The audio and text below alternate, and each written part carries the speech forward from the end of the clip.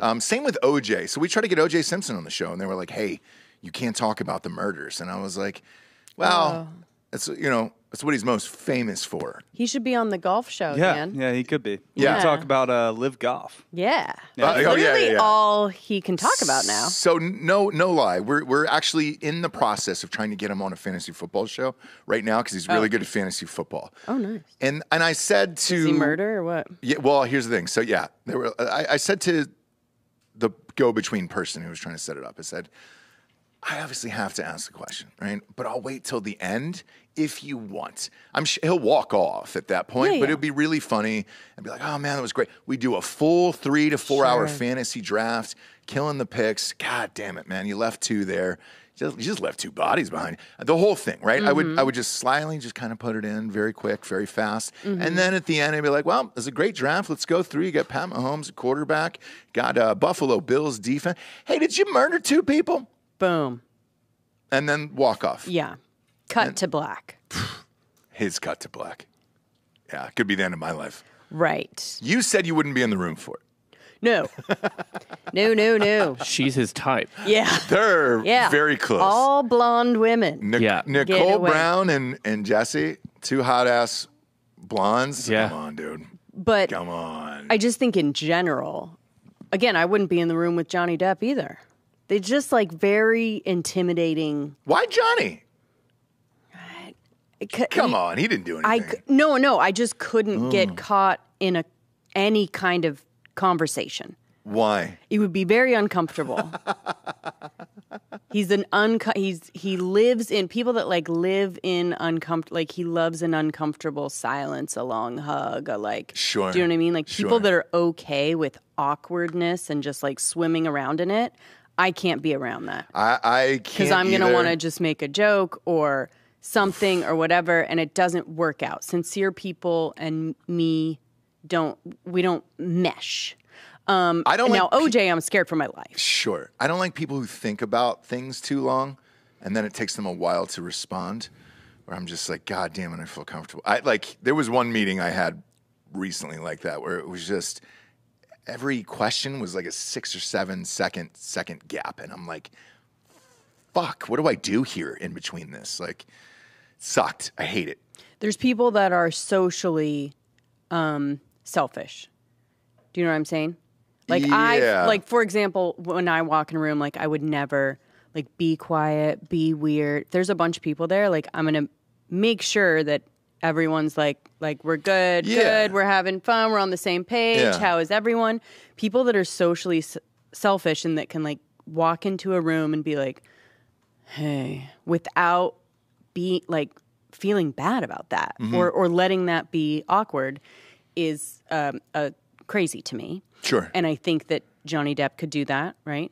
He would ask like questions that didn't have any, you know, that didn't go anywhere, and it's just very. It's all. He's fine with it. Yeah. I got a weird one for you. I don't. I've never asked you this, and we've we've done almost 800 episodes. Um, you had a thing for Benicio del Toro, Yes. and you guys went to dinner. Still do. Yeah, and you guys went to dinner. How many people were I there? was at a dinner that he was at at the other side of the table. okay. Yeah. How many people? Eight. Um, eight to ten, probably All in right. and out. What was that like?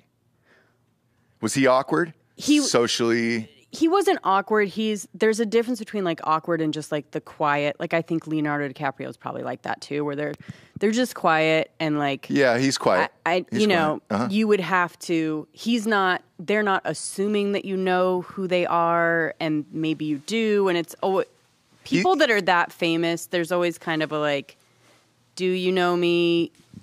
Um, do you not? I- Yeah. I, don't know.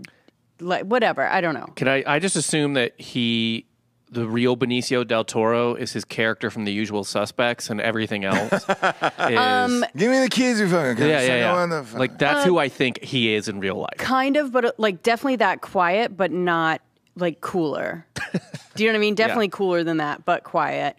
And then only talk to the hot ass chicks that came up to him. Ah, there I it was is. not one of There it those, is. right? Like I was just like, Really? oh my god, no, because there's a type that has no shame, a la you.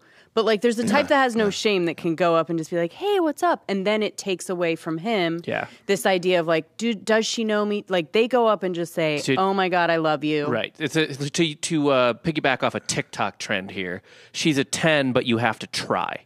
Right. Yeah. So yeah. what is she now? Yeah, exactly. Exactly, yeah, Right. She's a 10, but she has 20 cats, right? Yeah. Like, that's a whatever. Yeah. So in that way, yeah, like he doesn't, he doesn't have to. So why would he talk to me when there's going to be two hot ass chicks or the ones that are sitting next to him are just going to fawn all over him? Mm-hmm. Same with Leonardo DiCaprio. Like they don't have to walk across the room ever Right. in their entire lives. Right.